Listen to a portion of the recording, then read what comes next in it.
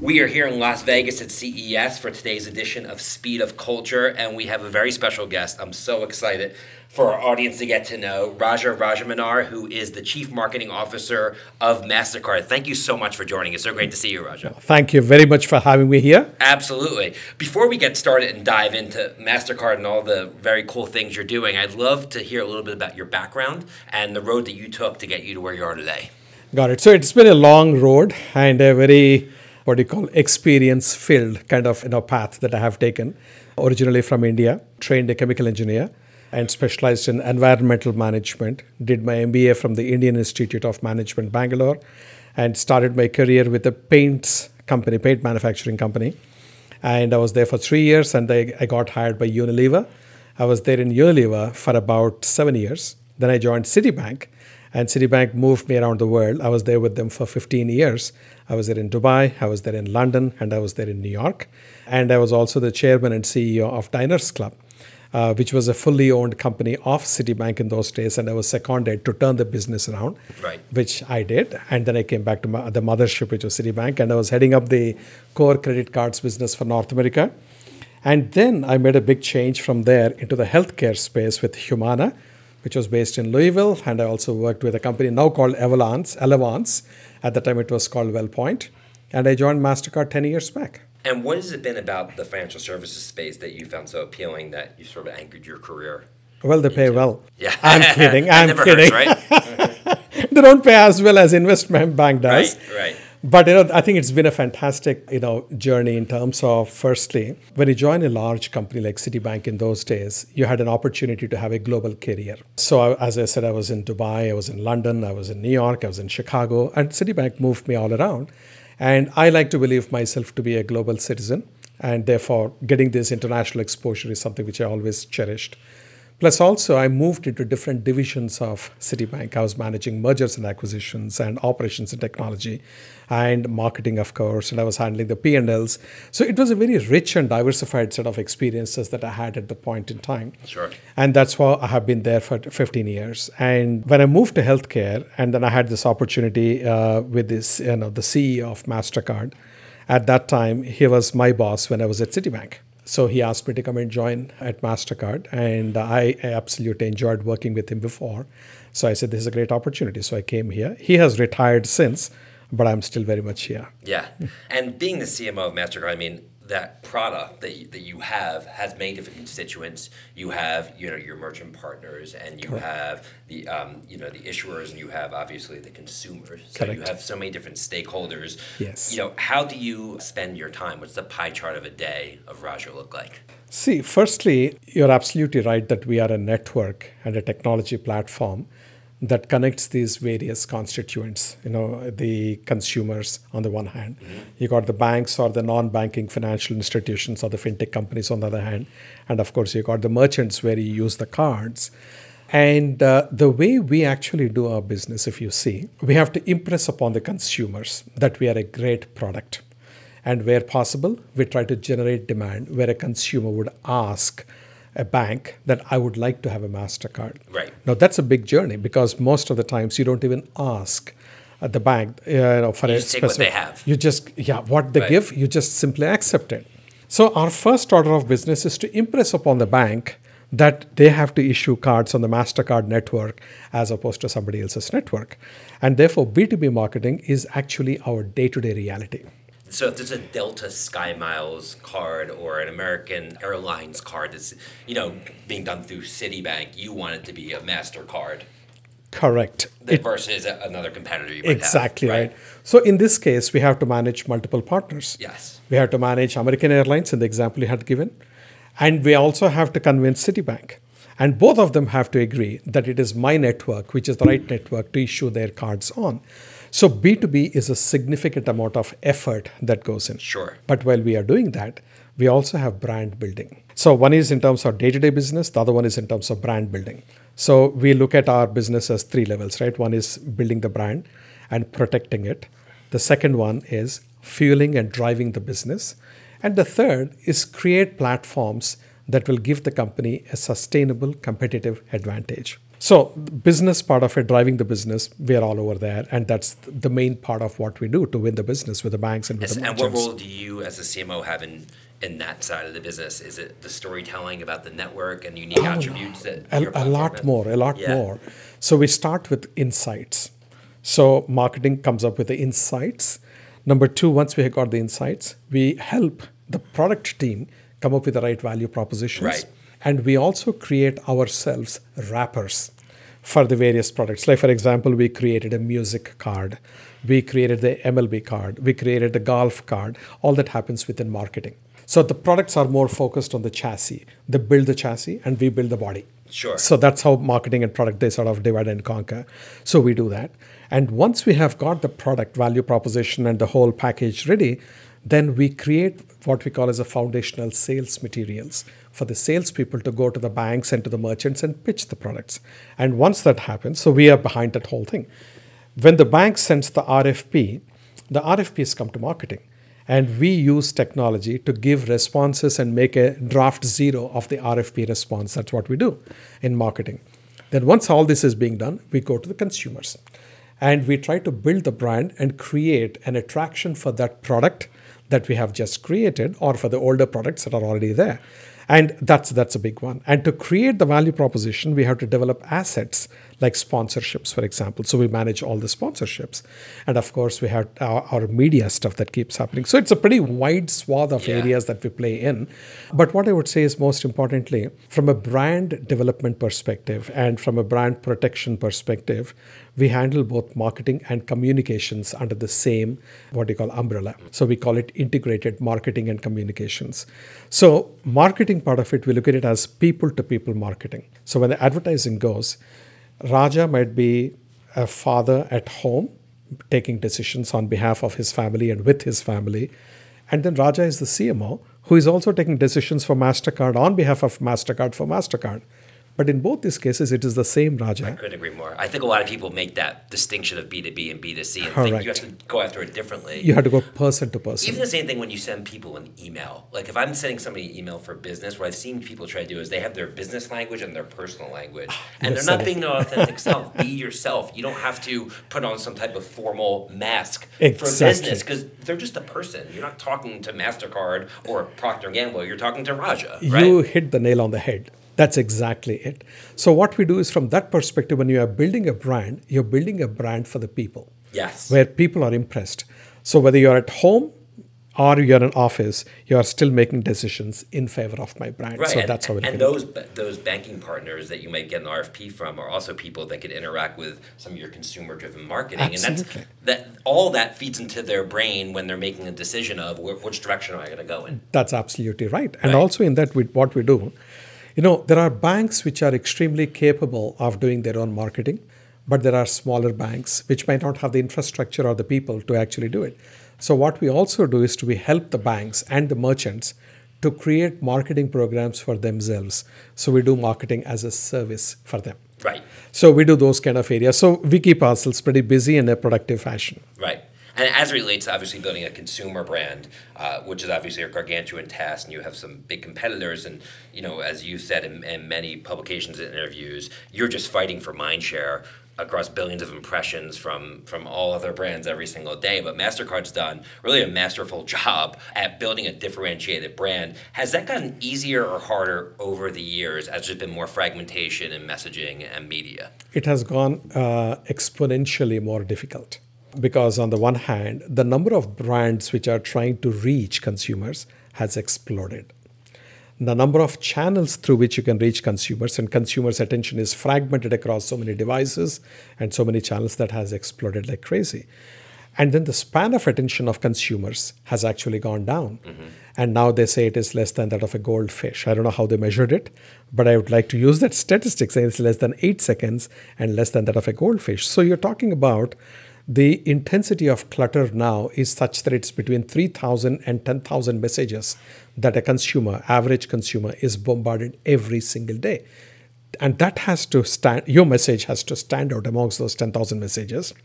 It has to go through that narrow window of span of attention of less than 8 seconds communicate the message get the right attribution and convince the consumer to change their brand preference towards your brand or to retain the brand preference in favor of your brand, that's a humongous task. It's becoming more expensive, it's becoming more challenging. So we have to find alternate ways of reaching consumers' minds and hearts to actually get their uh, preference in favor of your brand. Right, and it all starts with like your core brand equity pillars, right? The things that you want consumers to associate you with, yes. whether you're widely accepted or easy to use or international coverage. Like, what are some of those things that Mastercard has leaned into consistently over time? Yeah, see, one of the first things we did was a little bit radical. So we said that advertising as the way to connect with consumers, reach and connect with consumers and engage them is becoming less effective and less efficient. Mm-hmm. And so what we said is, plus also not only that, if you look at countries, particularly outside of United States, in mostly in Asia, it has become a big phenomenon of the introduction of uh, ad blockers. So the estimate now is anywhere between 600 million to 1 billion people who have installed ad blockers on their mobile and phones or mobile they're, devices. They're time shifting and they're fast forwarding through TV exactly. Spots, they're right? doing so many. So therefore, that's one big issue. Second issue, consumers fundamentally dislike advertisements interfering with their experience. Yep. Like I'm watching a beautiful movie or a beautiful song or whatever. Suddenly, this advertisement comes in between, and it destroys my experience. And there used to, there used to be nothing they could do about it, eh. right? They used to, it used to be the cost of consuming yeah, content. Exactly. Right. That could be right from the platform perspective, but it's not right from the consumer's exactly. perspective, right? And the second thing is now, you know, literally when I'm watching, as a human being, I'm watching a video. When the advertisement comes every three minutes, four minutes, or five minutes, I'm waiting for the skip now button. And not to make my life more difficult, they're serving me two ads at a time. They're saying ad one off two, which I cannot skip, then ad two off two I can skip. That's like torturing me. Yes. We as marketers talk about having delightful consumer experiences. Here, the consumer was having a delight on his own at this point in time till you came along, the marketer, and messed up my experience. That's not how it should be. So, what we said is when we looked at this reality, we said, should we still be doing advertising led marketing or should we do something else? And we opted for that something else, which is experience led marketing. So, we became an experiential marketing company predominantly. So, today we spend a lot many more dollars on experiences than we do on advertisements. So what does it mean? So for example, we sponsor, we are one of the largest sponsor of MLB. We are one of the largest sponsors of PGA Tour and so on and so forth.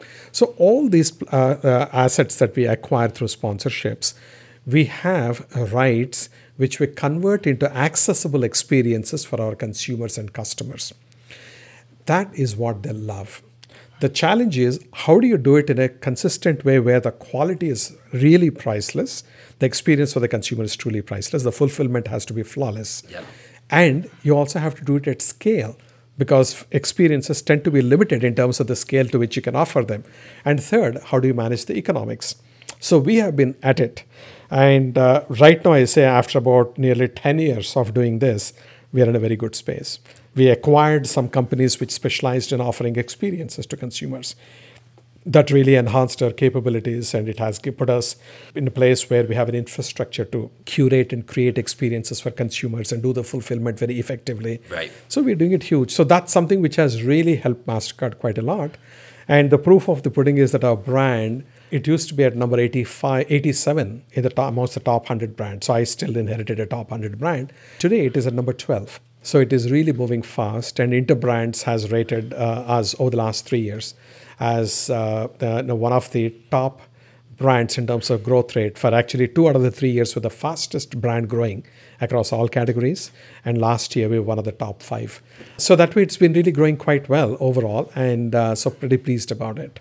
I think what you're alluding to is I think in a pre-digital era talk about advertising, and advertising is like, what's our unique selling proposition? You know, 360 horsepower, 20% more absorbent, whatever that may be. Let's shove it down the consumer's throat, whether they like it or not. We're going to do it where they are, which is during content they're enjoying. And now we're in an age where the consumer is choice. And now instead of it starting with a unique selling proposition, it's got to start with the consumer. Totally. What do they like? What are their passions? So that's why you're going towards baseball because that's what they care about. Correct. So you can give them more of what they want. Exactly. And in the space that they would want to be in right? So when you talk of passions, like for example, what we did is when you want to create an experience, it has to be in an area of their passion.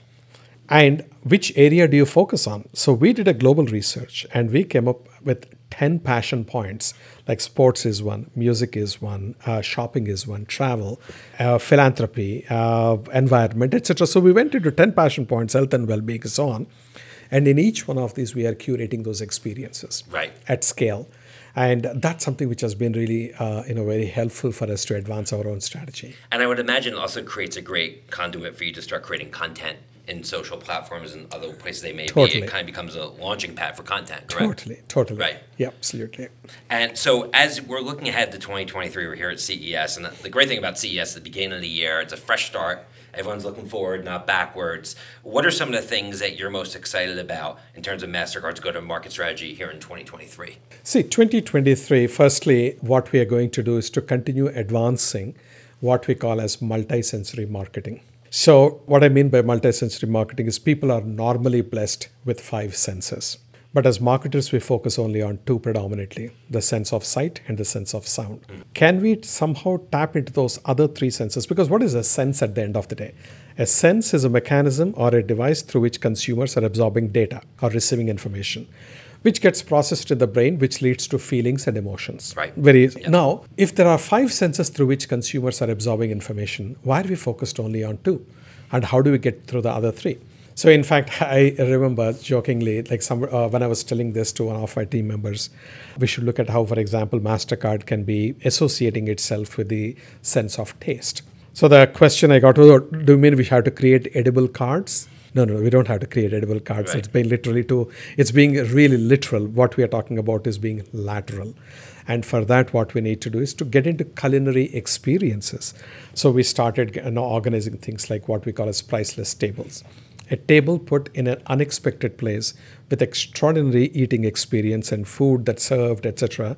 Like our very first priceless table was on a on top of a billboard uh, in Times Square and so we had a five course meal served by a Michelin starred chef.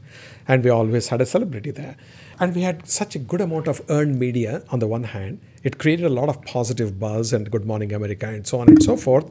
But that gave us a phenomenal impetus. And now we got into the culinary space big time. We have got Michelin starred chefs as our brand ambassadors we have started curating these priceless tables. We have got like thousands of them around the world. We do them, and we started having our own restaurants. So we launched four restaurants till now, and uh, like one is in Brazil. Recently, we uh, had been recognized as Brazil's best restaurant that happens to be a MasterCard restaurant.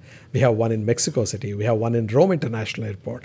So what happens is we are now getting into launching these restaurants as experience spaces where you get an extraordinary, you know, meal, but the surround systems beyond that meal is what makes it truly memorable. The meal itself is fantastic because it's curated by some of the top chefs, but beyond that, the entire experience is unexpected, unusual, unique, and therefore the memories you walk away with from there are truly priceless. Right. I imagine one of the other senses is hearing, and I know that you guys recently announced this Web3 Spotlight program, which looks really cool. So I'd love to hear a little bit more about that. Yeah. See, when you look at the sense of sound, we have obviously been using sound as marketing community overall. You know, even when I was growing up as a child, we used to listen to jingles. But that's a very narrow interpretation of reaching consumers through sound. Mm-hmm. So we started understanding what is the effect of sound on the brain? Like you know the best example i had was i was uh, sitting with somebody from bose the company which makes music systems and stereos yeah. and uh, the speakers etc they asked me to take a look at a horror film with a volume zero. So i saw it it doesn't feel like a horror film. It's almost like a joke you know? Right. you don't feel anything at all. But when they start increasing the volume the fear factor keeps going up. Surprisingly at some point it peaks and then it drops off after that which means the mind has turned it, tuned itself out. So there is a science behind how sound works on you. Fascinating. And there is also a science behind what kind of sounds, what kind of notes, what sequence of notes, the pace, the bass. Each one of these has got a different kind of an impact on people's feelings and emotions. Today, when people are using jingles or background music to videos and all this, this is something which is more seen to be intuitively, yeah, this feels good, so let's put it in. Right but there is a science behind it. So we started delving into that science. And we came up with something what we call as our sonic branding identity, our sonic brand. So it is how does MasterCard present itself as a sound?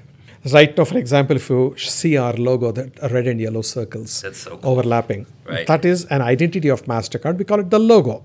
What is the sound logo or the sonic logo of MasterCard? So we started looking into that.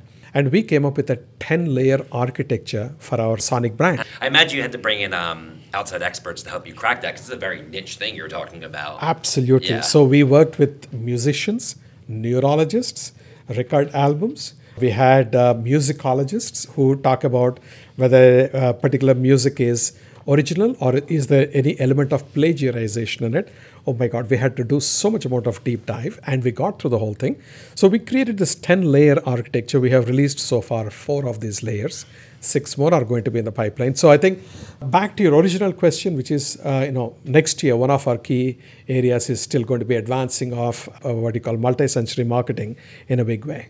So the financial services space, you know, there was a lot of deregulation that happened over the last couple years, and it opened up a path for a lot of fintech companies to come in. And we've had obviously cryptocurrencies and so much that's impacted this space. How has all this innovation and disruption in financial services changed the way that you think about Mastercard's, I guess, uh, key differentiations in the future? And are you guys dabbling in any of those areas? Yes. In fact, uh, you know, uh, this is a situation where it opens the floodgates for innovation, which we pride ourselves in. Sure. So, firstly, when the government said that you need to have open banking, we went and set up our whole infrastructure around open banking.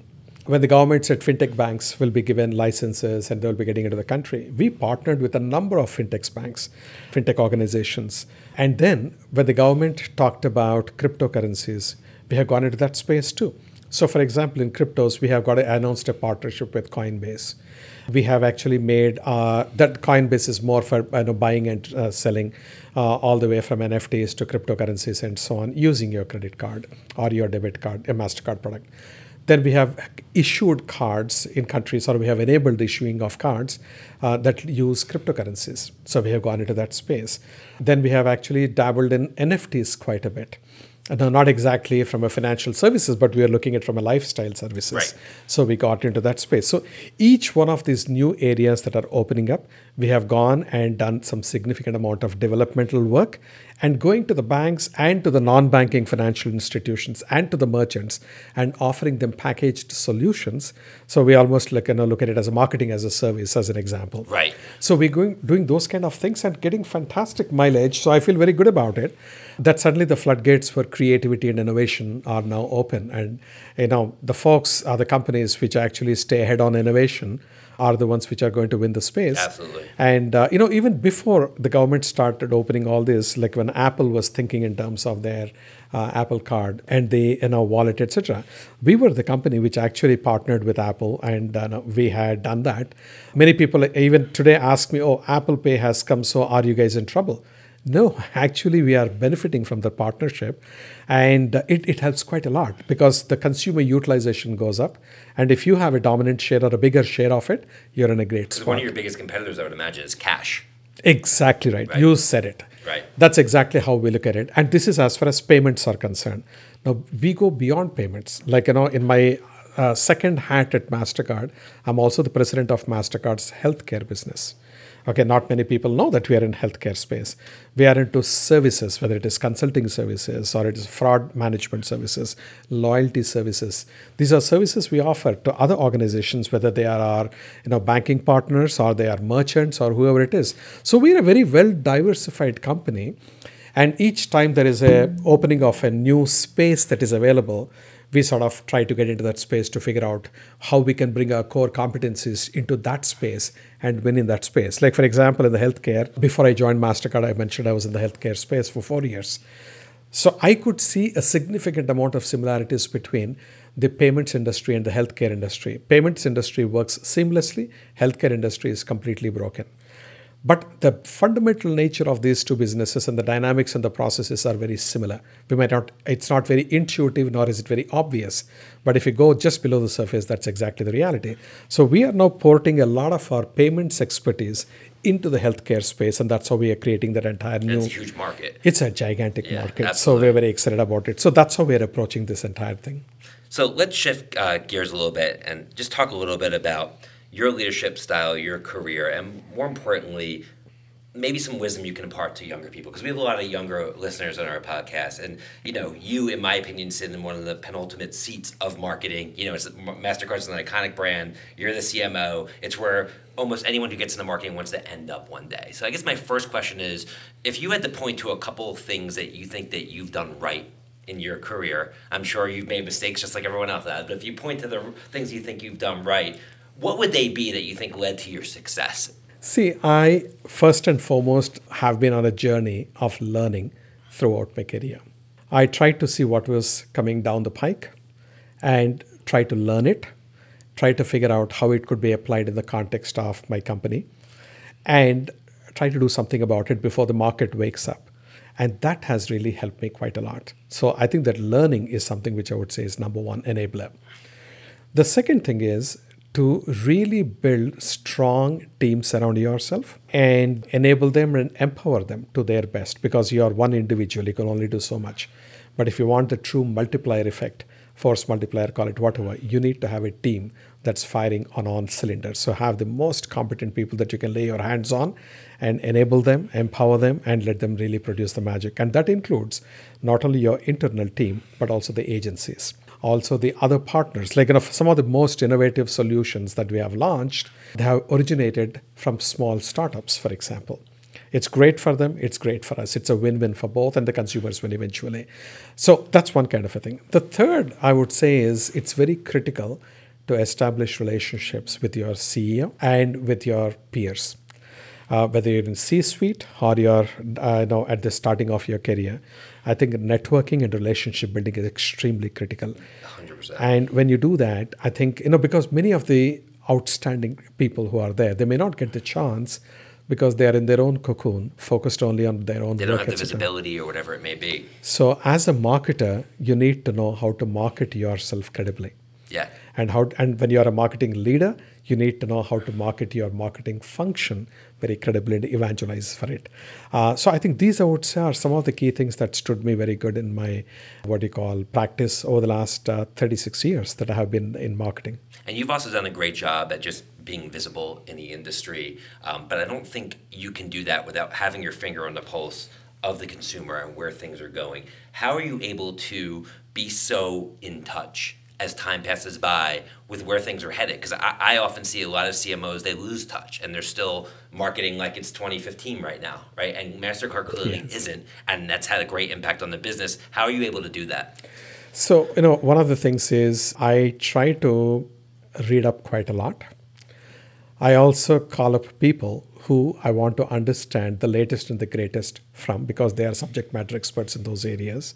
I had taken lots of times mentoring sessions where I would go to somebody and say, hey, for example, and I was telling somebody today, I went to the head of artificial intelligence at MasterCard and I said, teach me artificial intelligence. And I'll actually be a damn good student and understand. So when he's teaching me right. about AI, listening. I'm listening, I'm learning, and I'm asking stupid questions and clarifying and getting the concept right, and then ask for examples. Okay, show me applications. And though this gentleman is not from marketing, I would ask him, tell me, you tell me how you would deploy this in the area of marketing. And then that opens up, and he does research and he shows me about what some of the companies might have been doing ahead of MasterCard. Then say, hey, here is something which I'll have to focus on and do something about and do better in my own company. So I think reaching out from a learning perspective, I think it helps quite a lot. Reading up a lot, and uh, the other thing is, you know, we also do a lot of research, and uh, you know, the insights. They are not just simple surveys to say this ad is good or this ad is bad. But these are really powerful insights that actually originate in some of the studies that we do, which I find, and whether they are studies we do ourselves or whether studies they are published. And I, I find it very, very valuable. And finally, what I would also say is that when I come to forums like this, it really helps me to network. At CES. At CES, yeah. yes, exactly. Right. And it, it really helps us uh, helps me rather to learn from my peers and to, uh, from the other marketers what they are up to, what they, what are they hearing, and there are these network dinners. They're not just going and eating, and you know, uh, you're actually picking up you know, nuggets that are truly valuable. So that's how you stay in touch, and that's how you stay very current.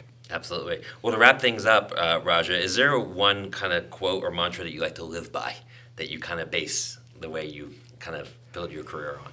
See, I wish I could uh, take credit for it, for what I'm about to say. But I try to live by it because that was not mine, but it was my mom's. So, what should always say is that you are given a lot of gifts. Every one of us is blessed with lots of gifts. Try to realize every one of them to the maximum. I love that. That's something which really makes you a much more rounded person. And you know, she used to tell me this was when I was a student, but that's one thing which I held all the all the while. So that's why you know throughout my career, I've been focusing on areas which are quantitative, areas which are qualitative, area which are you know very scientific and technology and numbers driven. At the same time, into psychology, sociology, anthropology and uh, things like that. And even here in my role, I look after marketing communications and healthcare. So it helps to have that diversified approach to your own talent and to your own gifts, so to speak. And that's the mantra I have been living by. Very cool. Well, thanks for sharing that. And thanks once again, Raja, for uh, joining us today. I think the audience is going to get a tremendous amount of value from this. And given your busy schedule here at CES, I'm just incredibly thankful that you took the time. So, Thank you very much. Absolutely. Much, much appreciated. So, on behalf of Suzy and Adweek team, thanks again to Raja for joining us. Be sure to subscribe, rate, and review the Speed of Culture podcast on your favorite podcast platform. From here at CES in Las Vegas, thanks again. See you soon, everyone. Take care.